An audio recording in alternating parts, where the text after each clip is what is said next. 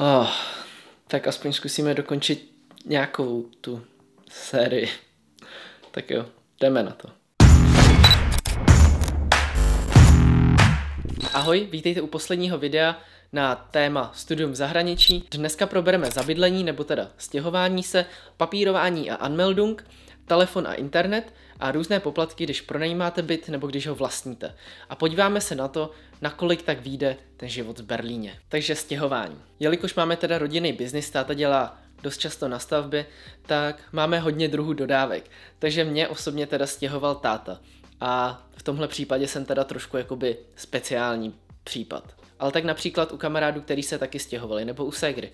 Ono dost záleží na tom, jaký typ člověka jste, ale většinou se všichni stěhovali v rámci dvou až tří kufrů. Rozhodně to nepřehánějte a pořádně si rozmyslete, na jaký všechny roční období jedete pryč a co doopravdy teda jakoby použijete. No a to znamená, že když například jedete pryč na winter semester, tak brát si sebou čtvery plavky, patery, kraťasy, troje sluneční brýle nebo láhev opalovacího krému moc nedává smysl, že jo? Takže asi tak.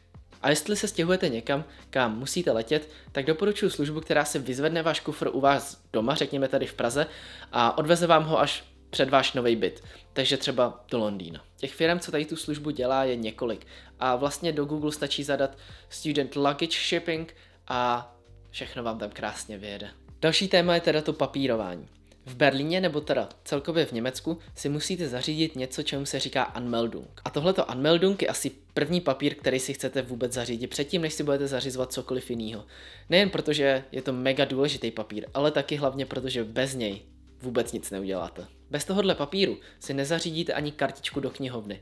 A navíc, když si ho neuděláte včas, nebo když se uděláte se spožděním, tak vám hrozí pokuta až třeba 500 eur. No a jak se tomuhle vyhnout? Co je toto Anmeldung? Všechno začíná tím, že si najdete byt, ve kterém si Anmeldung budete moc udělat. Hodně bytů v Berlíně tuhle možnost nemá, nebo ten majitel to nedovoluje. A tím pádem tyhle byty rovnou vyřaďte. Stejně jako v Praze máte Prahu 1, 2, 3, 4, 5, 6 až, já nevím, 57, tak v Berlíně máte taky tady ty městské části. Máte Mitte, Kreuzberg, Piberg, Friedrichshain a tak podobně.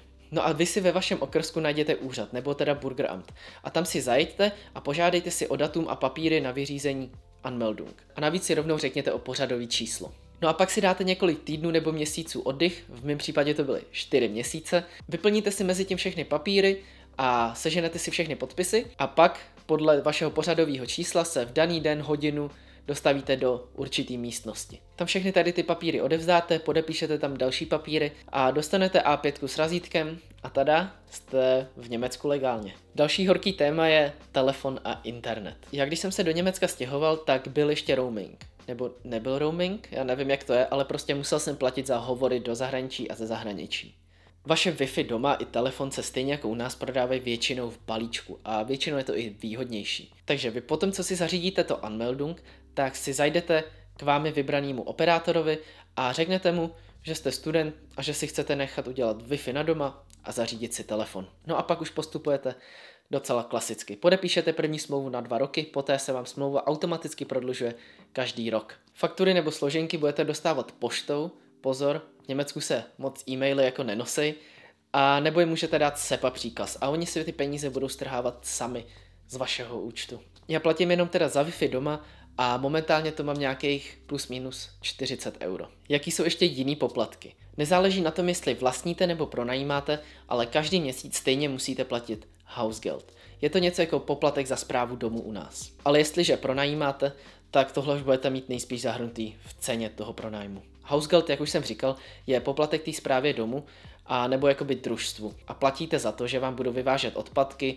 vytírat vám na chodbě, luxovat, zametat a starat se vám o výtah. U mýho bytu tohle vyjde tak na 250 euro měsíčně. A záleží dost na tom, kolik je tam nájemníků a jak moc se to musí dělit mezi ty, co tam teda bydlí.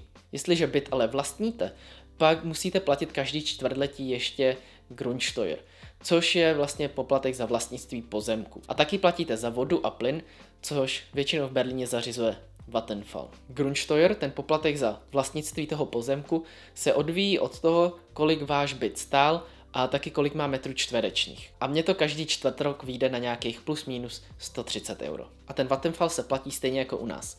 Platí se každý měsíc záloha, ale jelikož já tam moc teďka často nejsem, tak jakoby platím to minimum a to je nějakých 25-26 eur na měsíc. Ale první dva roky to bylo kolem 60-70. No a z těch poplatků to je asi všechno, co já si teď vybavuju. Nejsem si jistý, jestli tam není ještě něco.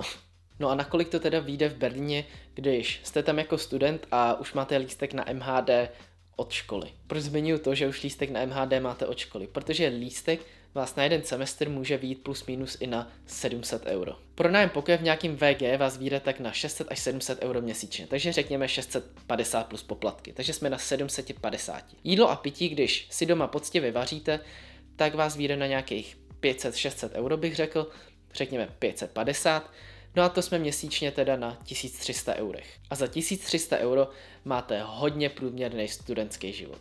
Tohle je hodně hrubý odhad a záleží na tom, jaký máte priority a taky kde chcete bydlet, jestli jste ochotní sdílet pokoj a tak podobně. Ale podle mě lepší počítat tak 1700 euro měsíčně, trošku to nadstřelit, než to jakoby podcenit. No a to by bylo pro dnešek i pro tuhle sérii asi všechno. Příští video bude trošku kratší, budeme porovnávat RAW a JPEG. No, já doufám, že vám tady ta série nějak pomohla. Kdybyste měli nějaké ještě otázky, tak určitě neváhejte a pište kamkoliv, já vám moc rád odpovím. A přeju vám hodně štěstí a my se uvidíme příště u předposledního videa, mám pocit. Uh, jo, šílený. Tak jo, mějte se krásně, zatím, čau.